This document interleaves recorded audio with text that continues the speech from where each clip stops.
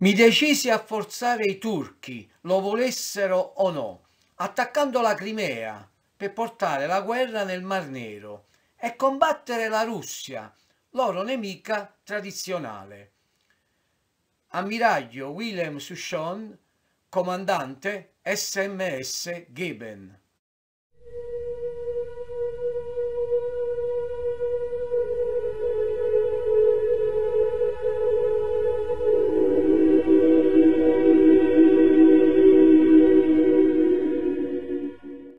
Bentornati amici ed amiche di Storia per le tre età.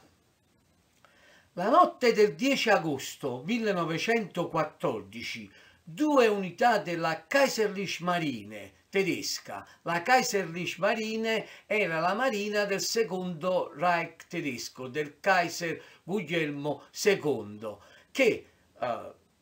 dopo pochi giorni che era scoppiata la grande guerra, siamo appunto il 10 agosto, entrarono nel Mar di Marbara e chiesero di ormeggiare a Costantinopoli. La Kaiserliche Marine sarà quella che poi alla fine della guerra diventerà Reichsmarine durante la Repubblica di Weimar per poi essere trasformata alla, alla, metà degli anni 30 da Adolf Hitler nella marina di guerra del Terzo Reich, la famosa Kriegsmarine.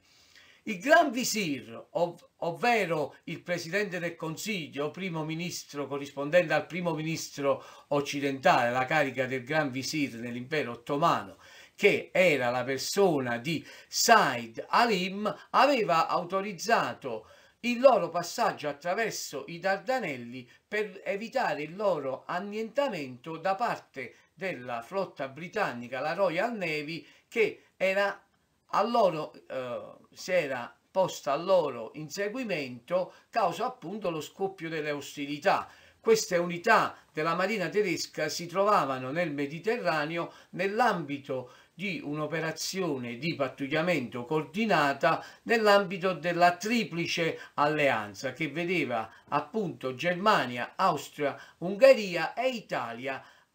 alleate. Le autorità dell'intesa chiesero però subito che in base a quella che era la normativa internazionale in caso di guerra, che essendo due navi belligeranti, queste due unità tedesche, venissero costrette a lasciare subito le acque ottomane entro 24 ore, come era previsto, o in subordine che fossero immediatamente disarmate. Uh, L'alternativa che minacciavano le autorità britanniche era il blocco dello stretto dei Dardanelli, che però ovviamente non poterono attuare perché quello sarebbe stato un vero atto di ostilità nei confronti dell'impero ottomano, una vera e propria dichiarazione di guerra.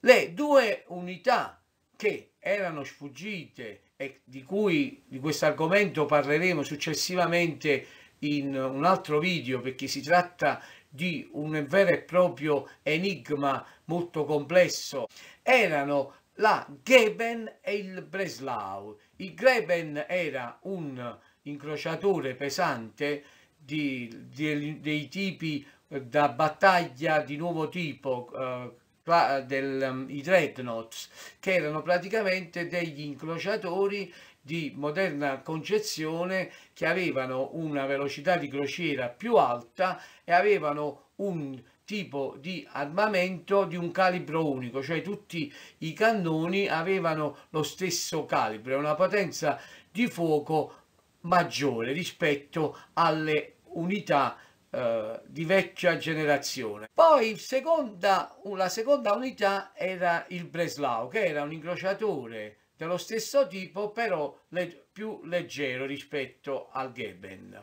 Si erano appunto introdotte nel mar di Marmara e avevano chiesto questa sorta di asilo alle autorità ottomane ormeggiandosi appunto al, eh, al, porto di quella che all'epoca si chiamava ancora Costantinopoli. Appena il 9 agosto, il giorno precedente, il Gran Visir, che eh, corrispondeva alla persona di Said Alim Pasha, aveva comunicato all'ambasciatore tedesco a Costantinopoli, Hans von eh, Wangenheim, l'intenzione del governo ottomano di firmare con la Grecia e la Romania una pubblica dichiarazione di neutralità. Nell'ambito del conflitto che era scoppiato in Europa, gli ottomani ci tenevano a rimarcare la loro neutralità. Già dal 2 agosto 1914 eh, Impero ottomano e impero tedesco avevano sottoscritto un comune trattato militare segreto in funzione antirussa che prevedeva una comune strategia offensiva e difensiva in caso che la Russia avesse portato un attacco contro la Turchia. Sappiamo che uno dei motivi principali per i quali eh, la, la, Russia era entrata in guerra era appunto di cercare di sfondare una volta per tutta la porta dello stretto del Bosforo e appropriarsi di, oltre che della capitale Costantinopoli, del Mar di Marmara e avere così lo sbocco attraverso i Dardanelli nell'Egeo e finalmente di arrivare a quei mari caldi da cui ambivano da due secoli. I russi avevano combattuto contro gli ottomani circa 12 guerre per cercare di portare avanti questa penetrazione verso sud. L'unica volta che le, gli occidentali negli ultimi secoli erano intervenuti in difesa eh, della, de, dell'impero ottomano era stato durante la guerra di Crimea di metà Ottocento, quando fu per l'unica volta che le potenze occidentali si schierarono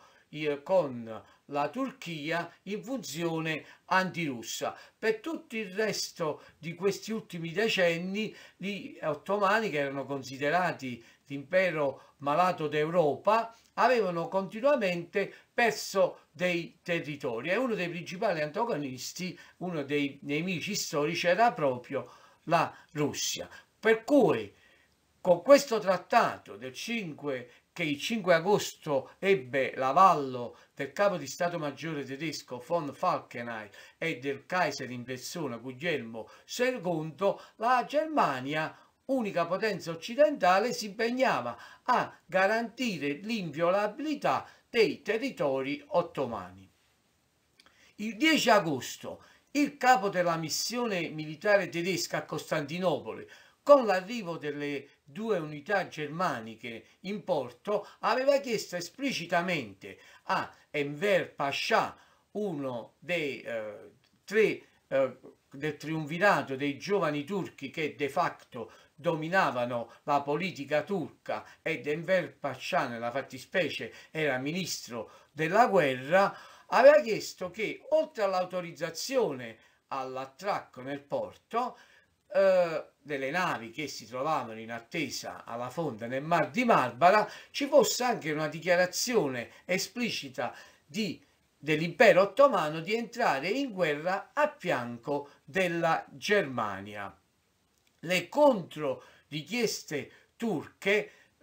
nel caso che avessero accettato la proposta di alleanza della Germania, erano principalmente oh, l'abolizione, una delle prime richieste era l'abolizione delle capitolazioni. Le capitolazioni erano un istituto che risaliva a, ancora all'età moderna e che gli ottomani avevano stipulato dapprima con i francesi, che prevedevano una giurisdizione separata per i cittadini stranieri, occidentali principalmente, che si fossero macchiate di violazioni di leggi sul territorio eh, turco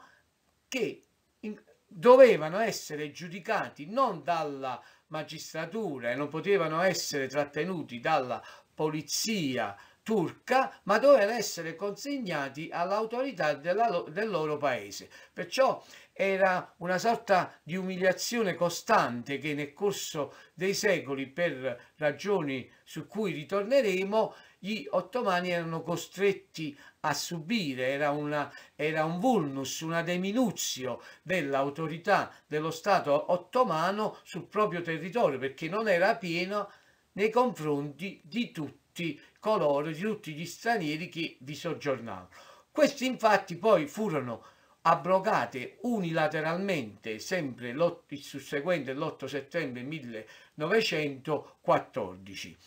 E poi un'altra richiesta che veniva fatta alle autorità germaniche è di eh, far credere che queste due unità fossero state comprate dall'impero ottomano, cioè che fossero state regolarmente pagate e che i tedeschi fossero giunti là unicamente per consegnarle. L'ambasciatore a Costantinopoli tedesco, che era il barone Hans von Falkenhayn, prima respinge, poi si consulta con Berlino e si decide di accettare questa sorta di messa in scena che ha anche un c'era stata anche un fatto precedente che dirò fra qualche minuto che poteva anche giustificare questo acquisto di queste due unità.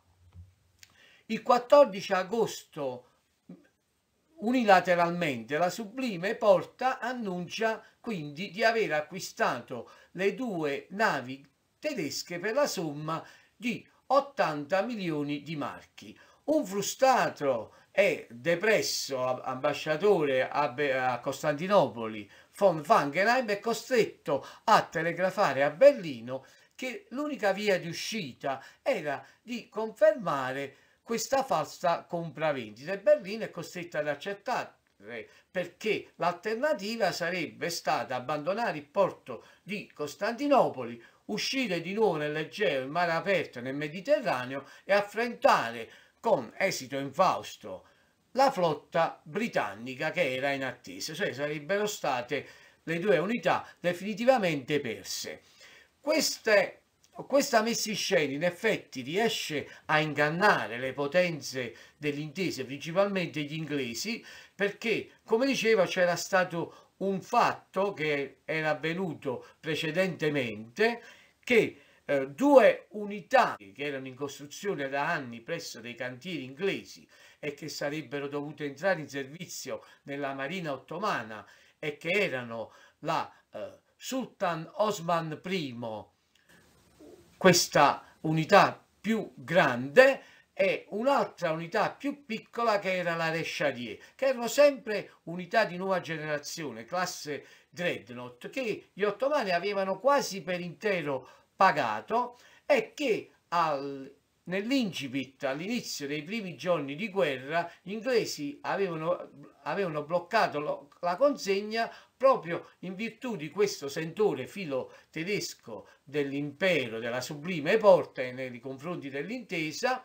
e che avevano voluto appunto non consegnare, questa era stata una decisione del primo lord dell'ammiragliato britannico che era Winston Churchill che le aveva appunto dapprima bloccate e poi queste navi che erano state comprate anche con una sorta di colletta collettiva eh, di tutte le, le, classi sociali, anche gli scolari turchi avevano raccolto dei soldi per pagare queste due unità che erano importanti per la supremazia sui mari della sublime porta, furono dapprima, come ho detto, bloccate e poi definitivamente confiscate su decisione di Churchill e questo è anche un argomento su cui ritorneremo.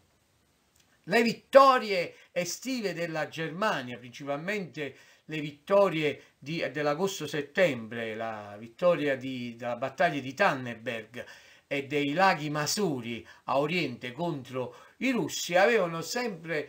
aumentata la convinzione presso i turchi che eh, la Russia sarebbe stata molto velocemente sconfitta dai tedeschi, principalmente quello che si era ancora più convinto di scendere in guerra a fianco della Germania era il ministro della guerra, già citato Enver Pasha,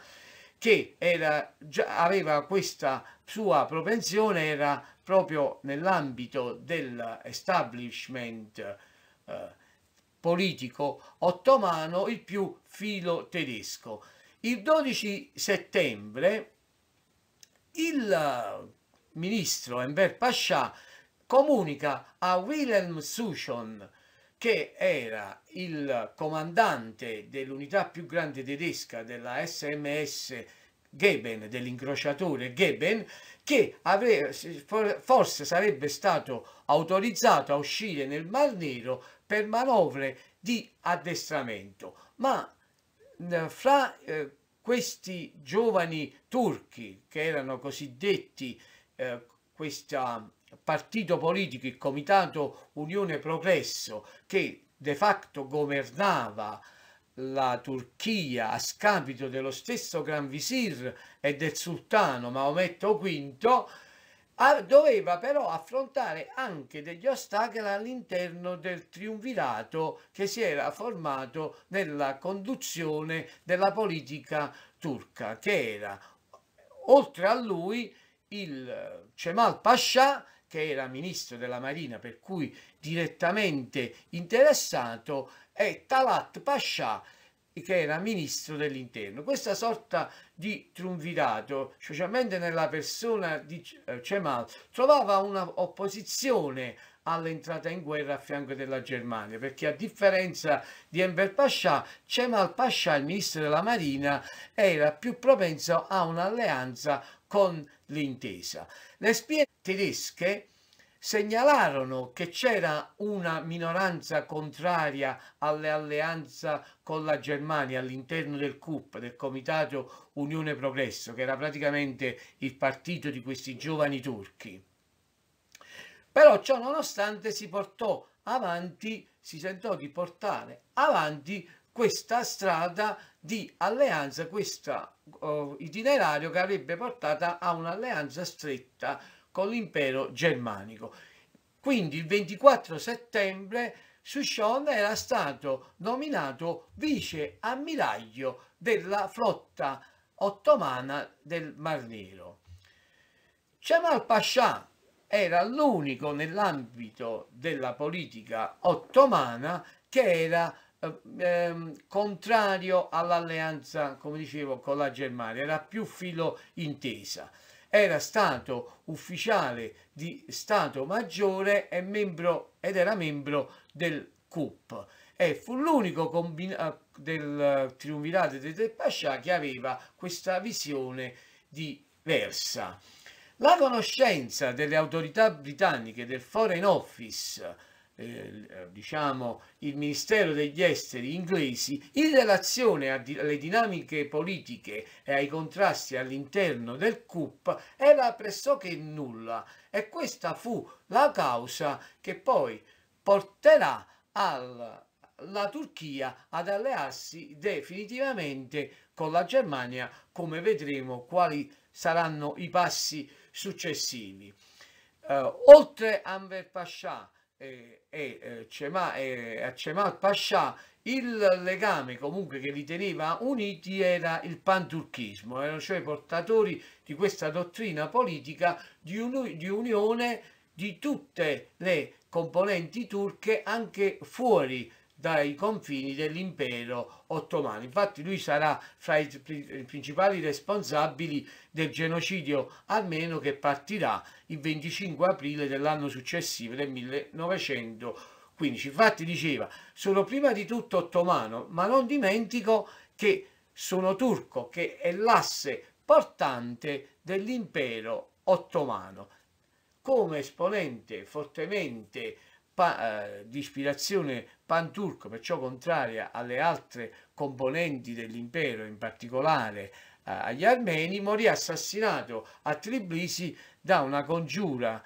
un attentato portato avanti da miliziani armeni nell'agosto del 1922. Adesso, in questo momento, è il ministro fondamentale per la guerra sui mari perché è ministro della Marina. Ma adesso vediamo un'occhiata più da vicino alle due navi in questione. L'SMS, cioè nave di Sua Maestà, corrisponde all'HMS, Her Majesty Ship inglese, era la dicitura della, eh, marina del Kaiser era un incrociatore da battaglia pesante classe Moltke che diventerà poi eh, ammiraglia della flotta ottomana con un nuovo nome che assumerà in questa nuova marina che è il nome Yavuz Sultan Selim sintetizzato in una parola Yavuz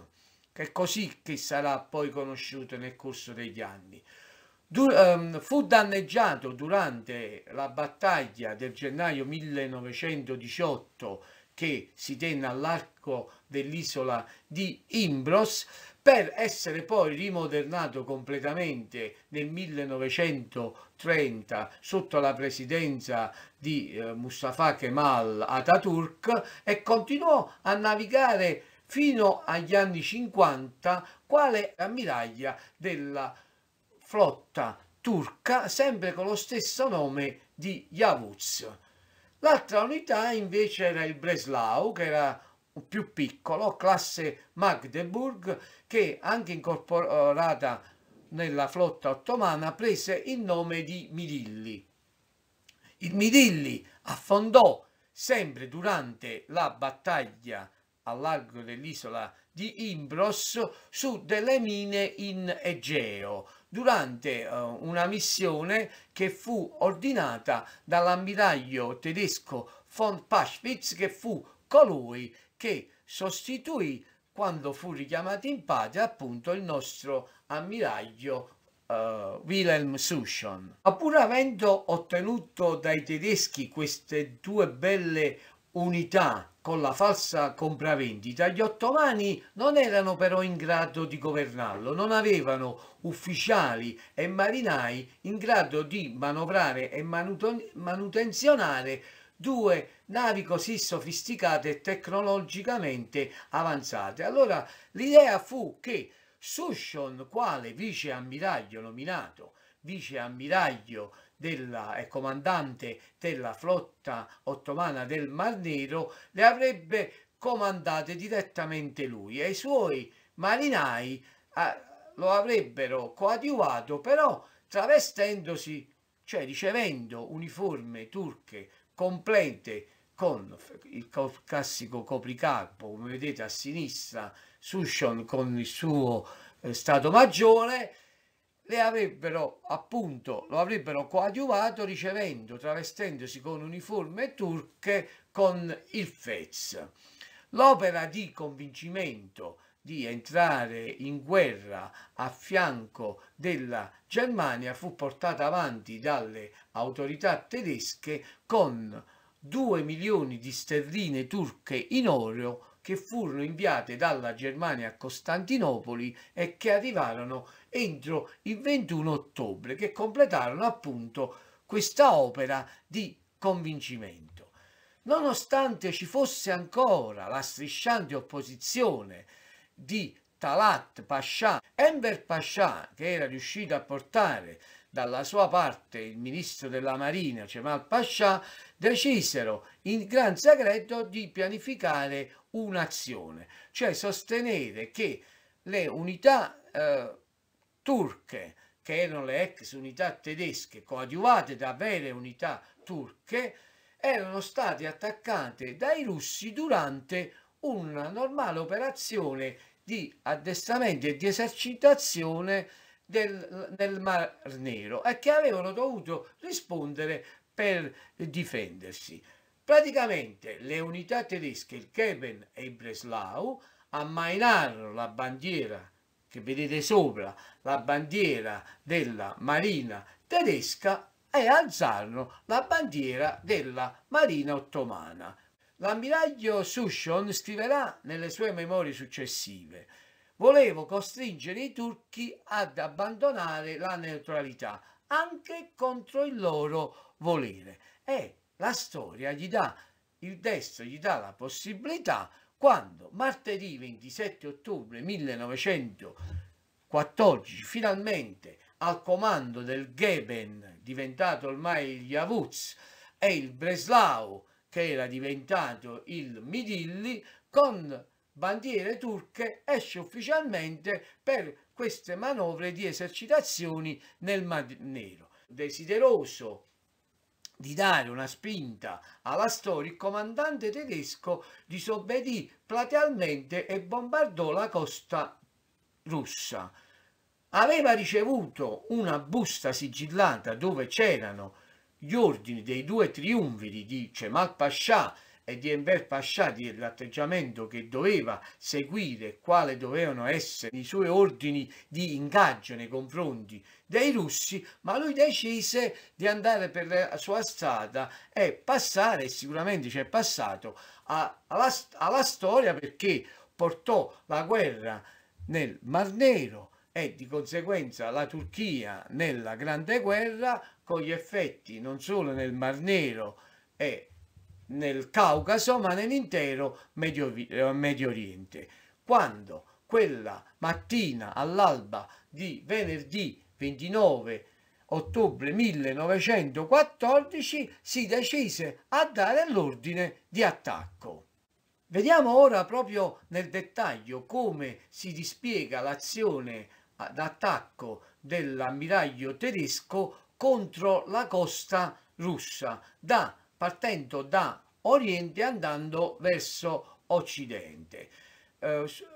l'ammiraglio tedesco invia il Breslau, quindi l'unità più piccola, più leggera, ad attaccare il porto di Novorossiysk ad oriente, dove appunto il Breslau scarica una salva di ben 308 proiettili sul porto russo e successivamente ordina a un incrociatore, l'incrociatore turco Amidie, bom di bombardare Feodosia. Feodosia che negli altri video uh, abbiamo citato, al limite alla fine di questo video vi metto il link degli altri due uh, argomenti dove abbiamo trattata la questione della Crimea Dicevo, l'incrociatore turco bombarda prima Feodosia, l'antica colonia genovese di Caffo, e successivamente portandosi più verso occidente bombarda anche Yalta. Intanto il Geben, che è sotto il diretto comando dell'ammiraglio Sushon, affonda la, De, la Donetsk attaccando direttamente il porto di Sebastopoli, la storica base navale, quella che è tuttora la più importante base russa che si trova in, eh, in Crimea e eh,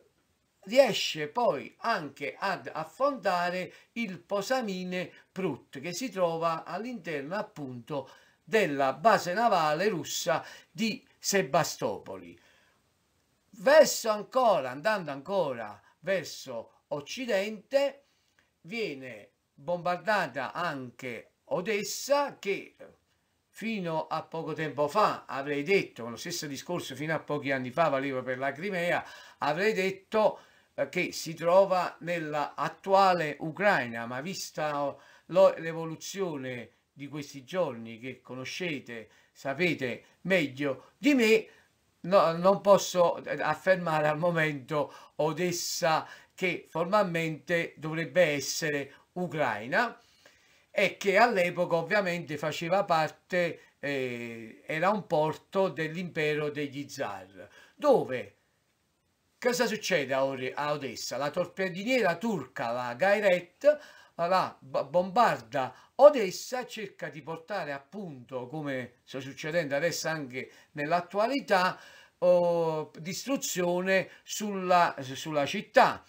Fare un'opera praticamente di rappresaglia su questo importante porto, ma esce in mare l'unità russa, la Kubanez e la torpediniera turca, la Gairet, è costretta ad allontanarsi. Comunque, nel complesso, l'azione attesa anche la sorpresa dei russi, si risolve per come una vittoria della, ufficialmente della Marina ottomana. Ma già domenica 31 ottobre, eh, presi dal panico, il governo centrale di Costantinopoli che formalmente ancora in mano al Gran Visir e al Sultano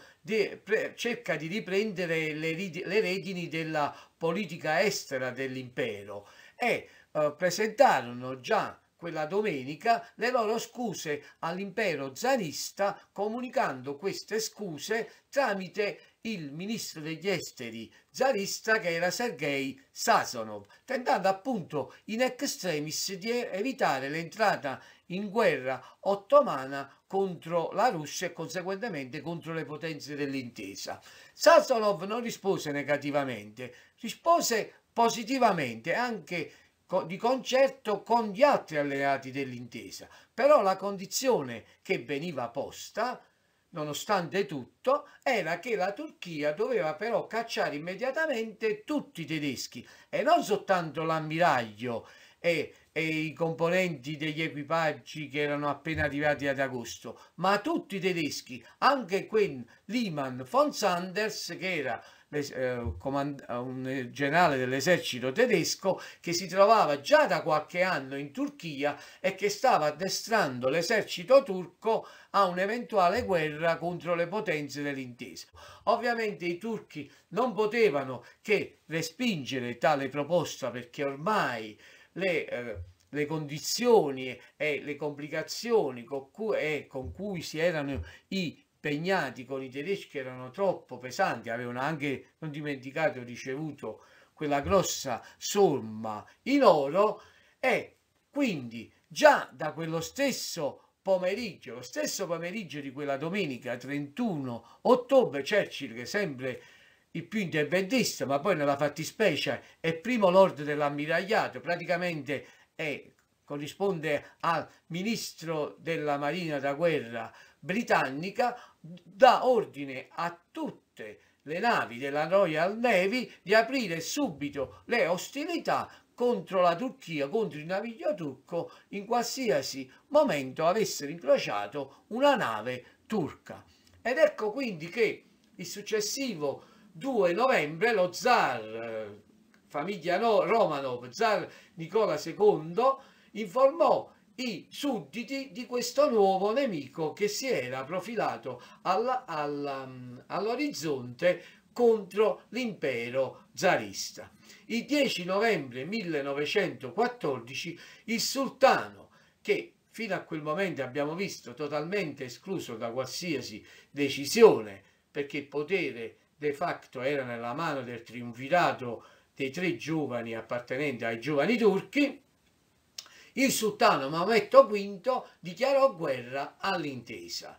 Il 6 novembre precedente nella moschea di Fatih il sultano, che non dimentichiamo, oltre a essere sultano ottomano, era anche califfo, quindi era anche capo della, um, della comunità islamica. Per cui questa uh, dichiarazione che fece di ricevere la spada del profeta e di dichiarare la guerra santa islamica, la famosa jihad, era pericolosa anche per i sudditi di sua maestà nell'India, nell'India britannica, perché nel suo seno in India l'Inghilterra aveva oltre 100 milioni di musulmani che non avevano mai fatto mistero di avere eh, delle simpatie maggiori per gli ottomani, ancorché che degli stessi arabi che la religione islamica l'avevano praticamente fondata con il grande, creata con il grande profeta Maometto. Quindi questa dichiarazione di guerra che porta l'impero ottomano alla grande guerra cambierà tutto il destino che seguirà al conseguente, alla conseguente dissoluzione dell'impero ottomano la nascita di Israele che poi si concretizzerà nel secondo do- dopoguerra, la questione palestinese, le guerre medio orientali, la creazione di stati artificiali quali il Libano, un altro stato artificiale, l'Iraq, che dal Caucaso al Golfo Persico fino all'ISIS. Tutto questo deriverà appunto dalla dissoluzione dell'impero ottomano, che, eh, tutti eventi che scaturiranno dalla dichiarazione e dall'entrata in guerra della Turchia a fianco degli imperi centrali.